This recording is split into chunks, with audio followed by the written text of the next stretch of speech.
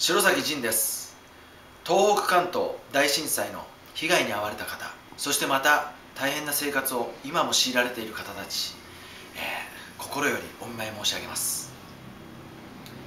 えー、一人一人の力は弱いと思います。ただみんなで協力し合い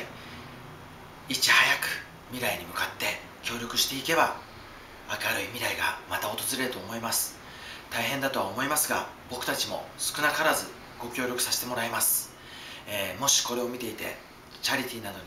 協力してくれる皆さんがいればぜひ力を貸してください、えー、これからも気を落とさずしっかりした心を持って頑張ってください。以上白崎仁でした。